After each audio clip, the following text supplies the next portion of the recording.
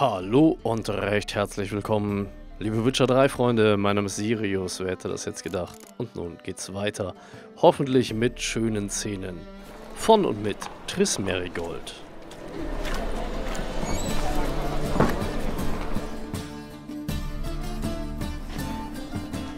Hallo Sprit, hast du die Zutaten für den magischen Duft bekommen?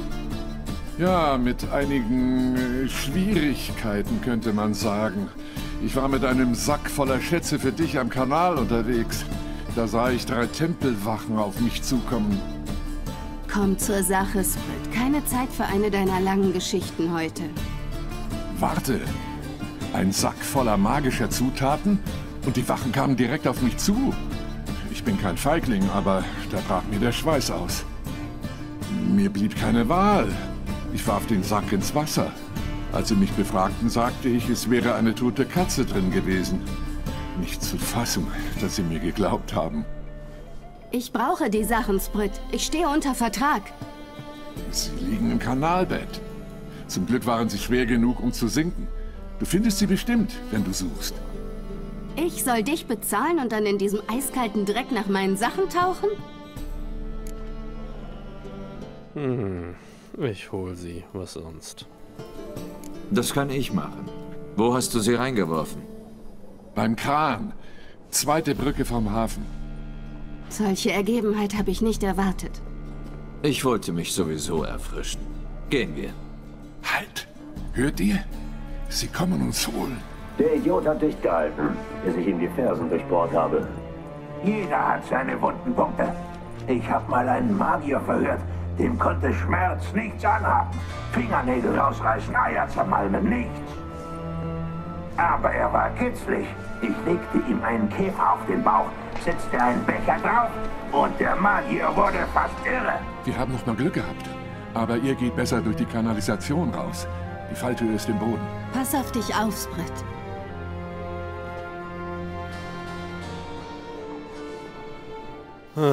So sollte das hier nicht laufen, sag ich euch. Wollen wir den, äh, wollen wir den Typen ein bisschen ausplündern oder was?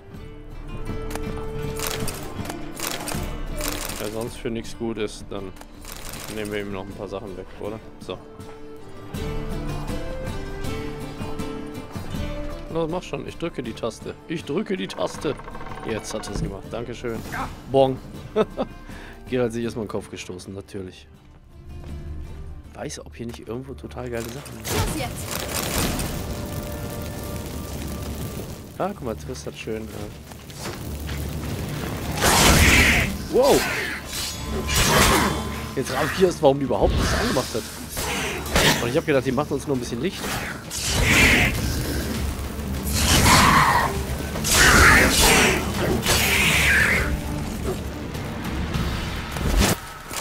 Ein Monsterohr, okay. Ach, schade, wie schön das aussah. Mach wieder Feuer an. Komm, Triss. Zähl dich nicht. Mach ein bisschen Feuer für uns. Hier muss ein Ausgang sein. Sonst hätte Sprit uns auch nicht hergestellt. Hier muss ein Hebel an der Wand sein, der die Geheimpassage öffnet. Ein Hebel an der Wand, der die Geheimpassage öffnet. Okay. Ich sehe schon. Freie Stadt Novigrad. Der Name hat mal was bedeutet. Darum sind ja nach dem Massaker von Lokmulun so viele Magier hierher gekommen. Dachten, sie wären hier sicher vor Radowitz Scherben. Stattdessen gerieten sie vom Regen in die Traufe. Aber Novigrad hat enorme Geldvorräte. Und man braucht dreierlei, um einen Krieg zu gewinnen.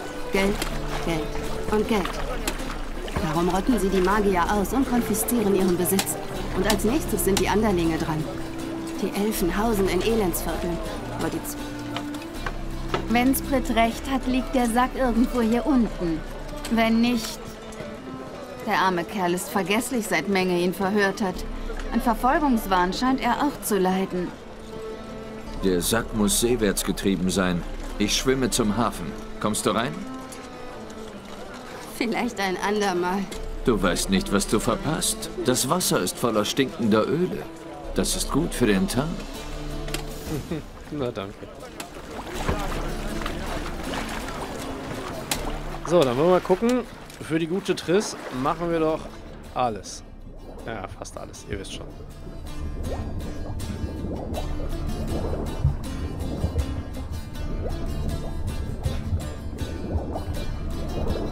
Okay. Zumindest ein paar Gegenstände hier schon mal aufgetaucht.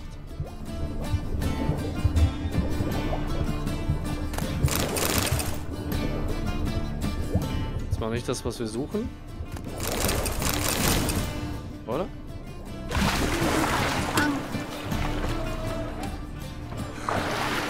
Noch was angezeigt in Rot gerade. Habt ihr das gesehen? Da vorne. Aha. Das sieht gut aus. So, sehr schön. Gibt es hier sonst noch irgendwas, was wir aufnehmen, plündern können oder so? Im Moment halt, glaube ich nicht.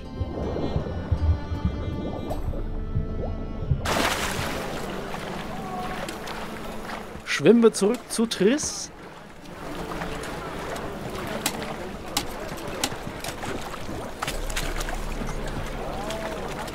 Hast du den Sack oder bist du umsonst nass geworden?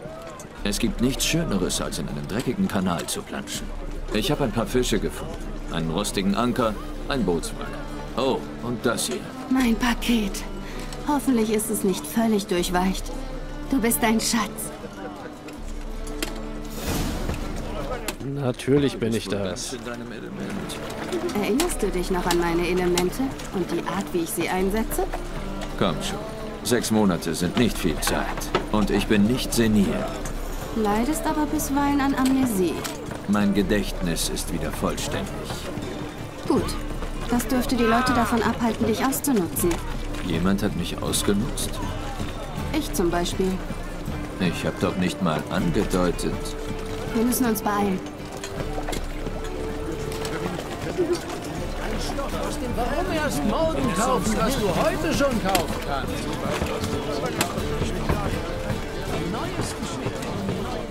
Meinen Gruß, Zauberin. Meinen Gruß, Brandon. Ich dachte nicht, dass du jemanden mitbringst.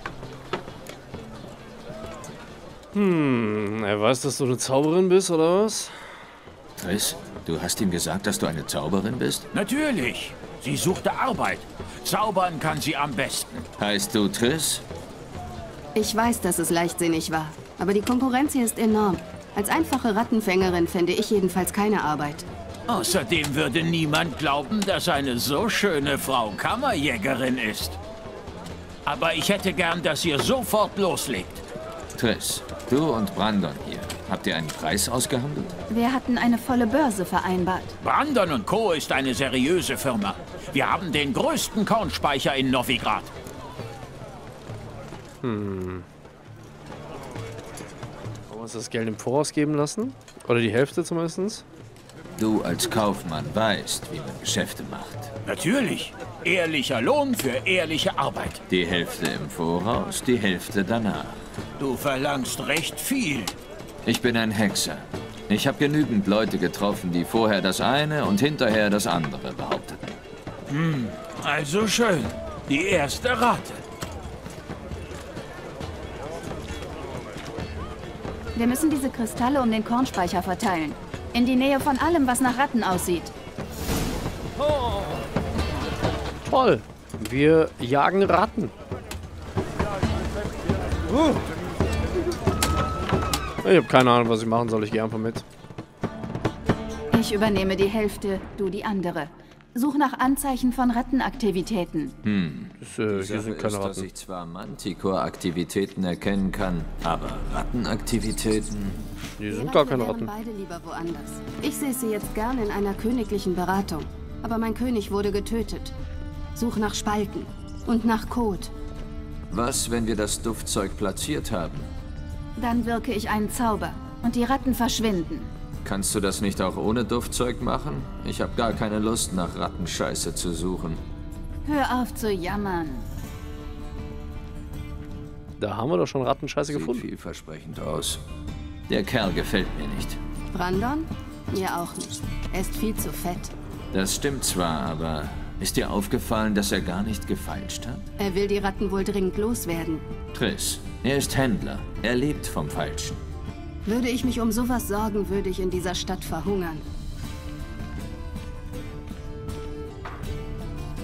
Hm, hoffentlich ist das nicht mal eine Falle hier irgendwie. Das ist der nächste Code. Können wir hier noch irgendwas aufnehmen vorher oder so? Ne. Legen wir mal die dritte Falle. Ich glaube, jetzt sind alle Löcher verstopft. Schön. Dann gibt es jetzt ein magisches Feuerwerk. Wenn ich den Duft aktiviere, haben wir einen Moment zum Reden.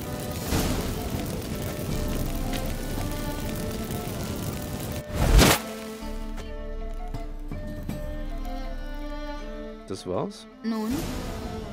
Jetzt warten wir, bis sie weghuschen. Interessante Methode. Ich hatte nie viel Glück mit Ratten. Einmal habe ich in totaler Finsternis eine mit der Gabel erwischt, wollte mit meinen Hexersinnen angeben. Meisterlicher Wurf. Leider hat ihn sonst niemand gesehen. Wie auch im Dunkeln. Also, was denkst du? Rattenfängerin? Ein tiefer Fall für die Beraterin des temerischen Königs. Ich bin nur froh, dich gesund und munter zu sehen und Versöhnlich?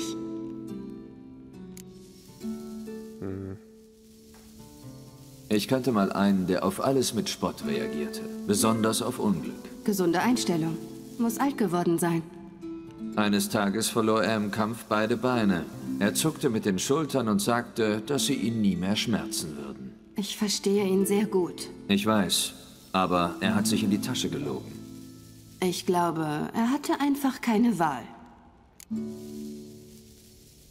Hm, sollen wir nett zu ihr sein? Jeder lügt dann und wann. Aber sich selbst zu belügen, ist wie weglaufen, ohne eine Zuflucht zu haben. Manchmal ist Flucht die einzige Möglichkeit zu vergessen.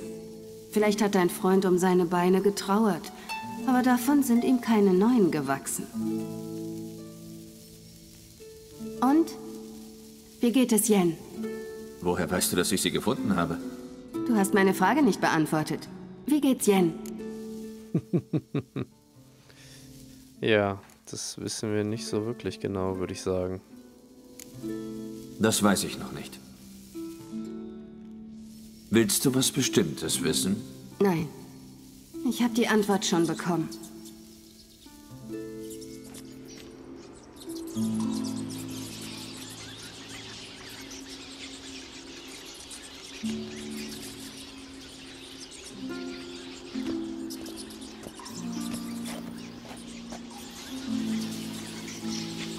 Sieh an, sieh an.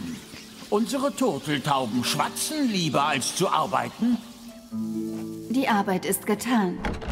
Gerald, das sind... Ich weiß, wer die sind, Triss. Freunde von mir, die mich gebeten haben, sie zu informieren, wenn ich einen Magier treffe oder eine Zauberin oder so.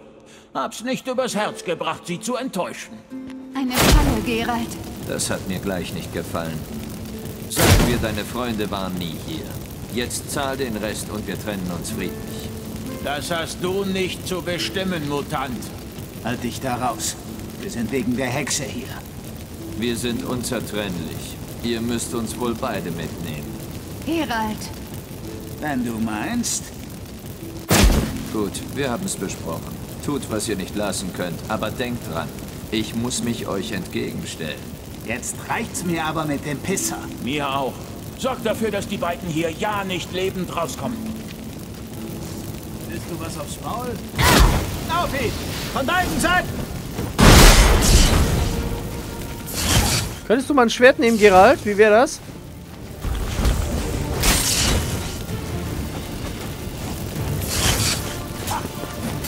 Warum hat er jetzt ein Silberschwert genommen? Nee, jetzt hat er das richtige Schwert.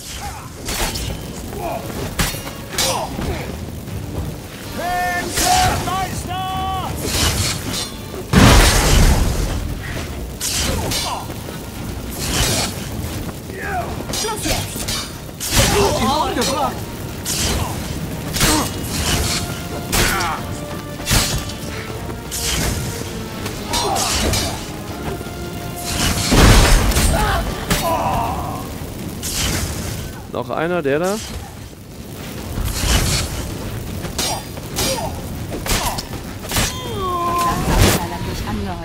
In der Annahme, dass er nicht zahlen muss. Eigentlich wie ein Kind. Wärst du nicht gewesen. Wir müssen Brandon finden. Wir holen uns auf jeden Fall unsere Kohle wieder von dem Wichser, würde ich ganz einfach mal vorschlagen, oder? So, los geht's. Ähm, Schwerter weg. Nun, Nun, gehen wir mal hinaus.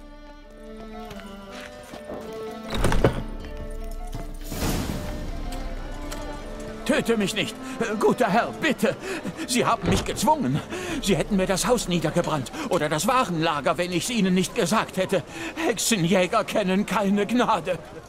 Verschone mich, guter Mann. Sei nicht wie diese Mörder. Halt den Mund. Ich sollte dich töten. Aber tot nützt du nur den Möwen was. Also bleibst du am Leben und bezahlst uns doppelt. Sofort. G gut, äh, euer Geld. Und jetzt zisch ab. Danke, Gerald.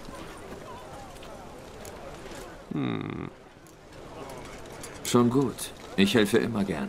Weißt du, ich habe nachgedacht, wer was über Ciri wissen könnte. Mir ist was eingefallen. Eine Traumdeuterin namens Corinne Tilly ist in der Stadt. Angeblich sehr fähig. Eigentlich habe ich den Fähigkeiten von Träumern nie getraut. Corinne macht gute Arbeit. Du solltest es zumindest versuchen. Sie hat in der Nähe einen Auftrag angenommen. Folge dem Kanal, weg vom Fischmarkt. Das Haus ist bei der ersten Brücke. Es gehört einem reichen Bankier namens de Jonker. Kommst du nicht mit? Ich muss mich um andere Dinge kümmern. Noch ein rattenverseuchtes Warenlager? nicht ganz. Viel weniger befriedigend. Aber so sind die Zeiten. War schön, dich wiederzusehen. Fand ich auch, Gerald. Du solltest jetzt gehen, bevor Corinne wieder irgendwo untertaucht. Und wenn ich dich wiedersehen will? Ich wohne in den Scherben, in der Nähe des Fischmarktes. Komm mal vorbei. Würde mich freuen. Alles klar. Bis dann. Ich habe ja wirklich einladend ausgesehen jetzt hier bei unserem Abschied, oder? Oh, wie viele Erfahrungspunkte? 200. Wir könnten eigentlich auch mal wieder ähm, ein bisschen aufleveln. Ne, das wäre eigentlich auch nicht schlecht. Ich habe ja ein paar Punkte gesammelt, ein paar Stufen aufgestiegen. Also ein paar Punkte müssten eigentlich da sein. Hey, Scheiterhaufen in Novigrad. Erfolgreich abgeschlossen. Und die neue Quest beginnt mit den Träumen in Novigrad. Hallo und herzlich willkommen, liebe Gaming-Freunde. Mein Name ist Sirius. Und jetzt finden wir die Träumerin in dem alten Haus, vermutlich. Und wir haben eine leere Flasche. Ich sollte diesen ganzen Scheiß gar nicht mitnehmen. Was ist denn mit diesen ganzen Hurensöhnen, die hier so rumstehen, ey? Das gibt's ja gar nicht. Rette mich. Ich sterbe. Ja, ja, du stirbst, ich sterbe. Triss Marigold ist nicht mehr bei uns. So. Irgendwo hier außen rum geht's hoch, oder was?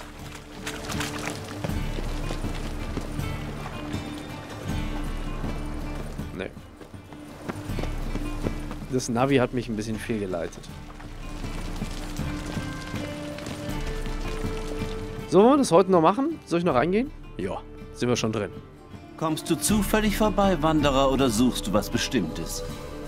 Wer will das wissen? Rudolf de Jonker. Von den de Jonkers. Ja, meine Ahnen haben das Fundament dieser Stadt gelegt. Jetzt besitze ich die größte Bank hier. Ich brauchte keine Empfehlung. Der Name hätte gereicht. Vater sagte immer, alle sollen deine Vorzüge sehen, Sohn. Stell dein Licht nicht unter den Scheffel. Was machst du dann hier, wenn du hier so ein reicher Typ bist? Ich suche nach Corinne Tilly. Dann bist du hier richtig. Corinne ist drinnen, seit ein paar Tagen schon. Träumt von der Geschichte des Hauses. Okay. Warum interessiert dich die Geschichte des Hauses? Bist du Historiker oder ist es Liebhaberei? Ich habe das Anwesen vor kurzem gekauft und nicht billig, wie ich hinzufügen darf. Dann bemerkte ich Störungen. Ich habe den Verdacht, dass es hier spukt. Welche Anzeichen gibt es? Oh, verschiedene. Gekicher, nachts, Möbel, die sich auf dem Dachboden bewegen. Und letzte Woche, nicht zu glauben, aber da fand ich menschliche Fäkalien im Flur. Könnten auch Nutten sein. Ich würde gerne reinkommen und mich umsehen. Eigentlich lasse ich keine Fremden bei mir rumstöbern. Aber die beiden Schwerter, du bist ein Hexer. Dich lasse ich rein. Marotte von mir. Okay, meine Freunde. Sind wir schon von den Schwarzen abhängig, wirtschaftlich. So, dann gehen wir mal hinein. Das hört sich so Stühle rücken, Gekichere und Kot auf, äh, naja, das wollen wir jetzt mal gar nichts zu sagen. Wie es weitergeht, werden wir auf jeden Fall in der nächsten Folge vom Hexer erleben. Ich sage danke, dass ihr immer noch dabei seid. Wenn ihr Bock drauf habt, gerne Daumen hoch. Oder könnt auch gerne mal Hallo Sirius schreiben, was immer euch beliebt. Bis zum nächsten Mal und haut rein.